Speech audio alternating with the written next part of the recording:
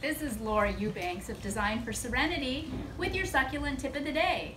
And once again on a project, I have enlisted volunteer help. Yeah. I don't know exactly how much help I'm going to get from this one, but she sure is cute. We are going to tackle this area in here now. This is the area I mentioned yesterday that gets a lot of shade. So we took and cut up all of the aeoniums that were leggy and overgrown in other areas of the garden, and we are going to do something amazing in here. I'm not exactly sure what yet, but you can find out with me.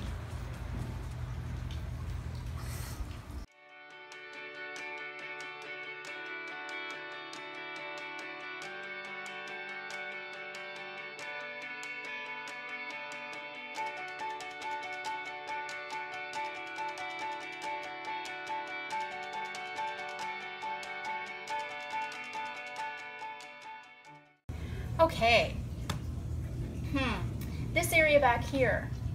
What to do? We've got this. What? Well, what do you think? What? Do you have an opinion? What do you think? What should we do?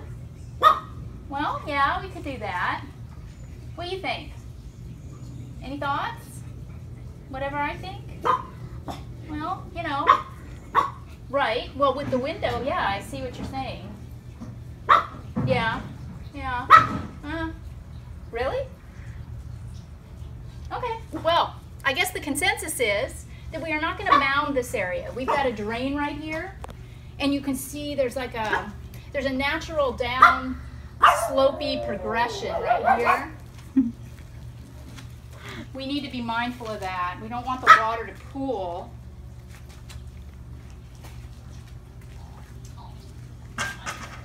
So Hmm, yeah, I think what I'll do is I'll stage this pot, take this off, stage the pot right under the window. And then if we're going to do any kind of elevating, it should probably be in this area right here. That's sort of the way the natural topography is working right now.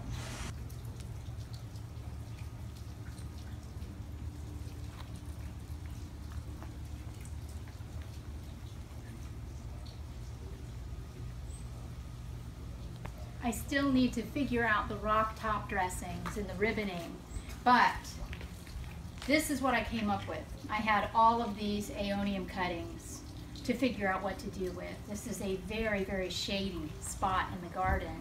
So despite the fact that it's the middle of summer, I think that these flowers are going to do very well um, in about a year when they reroot and they start to grow. This is going to be an exceptionally stunning garden area. Notice, too, the architectural elements in here. First, we started with the urn, and then we pulled in a large boulder.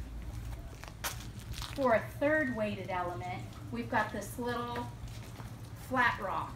So we've got our one, two, three weighted elements with all of the soft stuff in between. I mirrored the circle pattern with this barrel cactus that I found around back and I pulled in some of the paddle plants from around the side of the garden.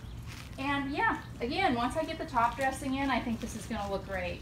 This has been Laura Eubanks of Design for Serenity reporting in Rancho Santa Fe with your succulent tip of the day.